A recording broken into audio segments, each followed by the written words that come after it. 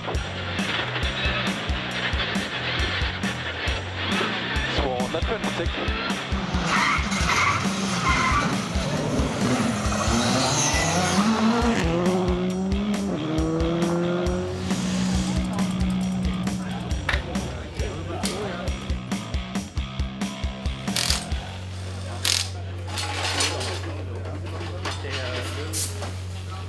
Yeah. Große Gratulation. Vielen Dank. Wir wissen schon, dass Christian ein technisches Problem hat, aber die Historie äh, hat nicht gefragt. Also, wie sind die Gefühle? Du bist ein neues äh, deutsches Meister. Super geil. War echt super, ja. Hat alles einwandfrei funktioniert. Wir haben einen, einen kleinen Ausritt gehabt bei der, bei der Vogelsberg Rallye, wo wir ausgefallen sind. Aber sonst haben wir fünf Siege gehabt und können heute noch den sechsten Sieg einfahren. Und das wäre natürlich das perfekte Saisonende.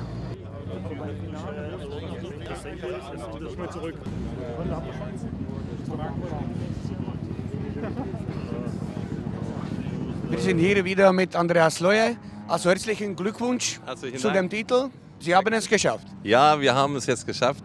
Durch das Pech von unserem Wettbewerber, der ein bisschen eher ausgeschieden ist, sind wir jetzt schon Meister. Natürlich freuen wir uns darüber wahnsinnig, weil es war eine anstrengende, aber auch eine unheimlich interessante Saison, weil wir eben immer einen, einen guten Wettkampf mit dem Christian Riedemann hatten.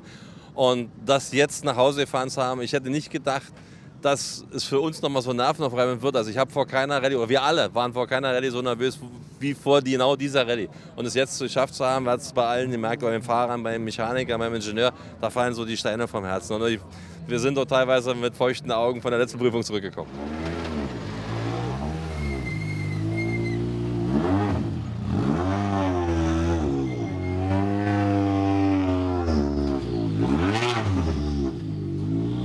Also Christian, wir, wir, wir waren im Ziel äh, der ersten Prüfung und du hast nicht gekommen. Was ist passiert?